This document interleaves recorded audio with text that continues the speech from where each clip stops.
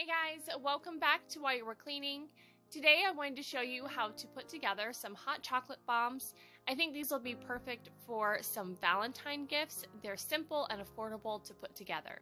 If you enjoyed today's video, remember to hit that like button, comment down below, and subscribe to my channel. To make hot chocolate bombs, I would suggest using almond bark or melting chocolate. It just melts a lot easier and then it also will harden quicker for you so your process can go a little bit faster. So I just followed the directions on this package and melted a good deal of chocolate. This will be enough to make six hot chocolate bombs. Now I'm going to use this mold. I bought this online at Amazon. I will link it down in the description box for you. I haven't really found these in any stores yet, and you might be able to get by with using a different mold, but it's very simple to use these silicone molds, so I would suggest just getting one of these.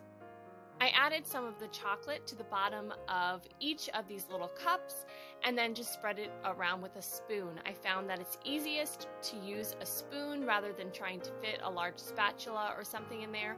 Just use the back of your spoon to spread it around and try to cover all of the inside of this half circle.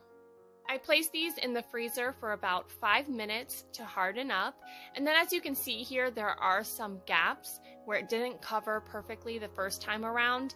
So then you'll want to go ahead and do a second layer on these, try to cover up any thin areas that you might have so that these will be nice and strong when you're ready to take them out of this mold. Place these back in the freezer for a few more minutes until they're hardened, and then you can see here they're very simple to just pop out of these molds. Do still be gentle, but they're not too hard to get out.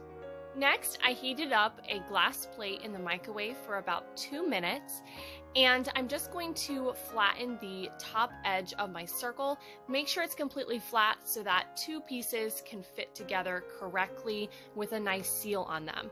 So you're going to do that to your base pieces first. And then I add about a third a package of Swiss Miss or hot chocolate mix into these molds.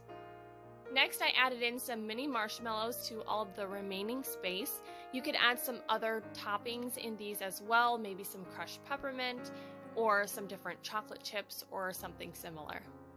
To top these off, I'm going to take another half circle, spin that on my hot plate for a little bit, and then line up the edges and press it down in place. And then you can see here how those create a nice seal on them by making sure those edges are flat. I'm going to add a few different types of decorations to the top of my hot chocolate bombs. So I did crush up a peppermint candy cane. I do also have these Russell Stover itty bitty hearts that I found with the Valentine items out at Dollar Tree right now. And then I have some different colors of sprinkles. You could add all sorts of things to the top of your hot chocolate bombs, mini chocolate chips look great on these as well. And then to make all of these toppings stick, I am going to be using some vanilla almond bark. And what I did was I stuck this, after I melted it, I stuck it inside of a Ziploc bag once I have all of the white chocolate added to this bag, I then took my scissors and I cut a small hole in the corner. You could also use an icing bag for this step if you wanted to.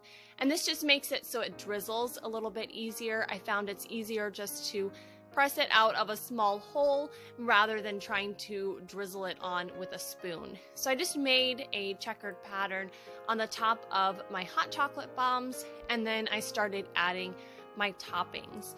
So again, just add whatever you would like. You could change up the colors depending on the holiday that you're making it for, or you could just even leave these plain. Another nice thing about this white chocolate is it drizzles down past that seam on the side of the hot chocolate bomb and helps hold it in place a little bit better. So now I'll just show you how this works once you add the hot milk to it. You can add milk or water to this and I just placed it in a large cup and then poured the milk on top and you can see how it starts to float and then pops open and this is the perfect amount of chocolate for this large cup. Alright, so that is everything that I have to share with you for today's video. Let me know down in the comments if you have already made hot chocolate bombs or if you plan to make them. I hope that today's video was helpful for you. Remember to like, comment, and subscribe, and I'll see you next time.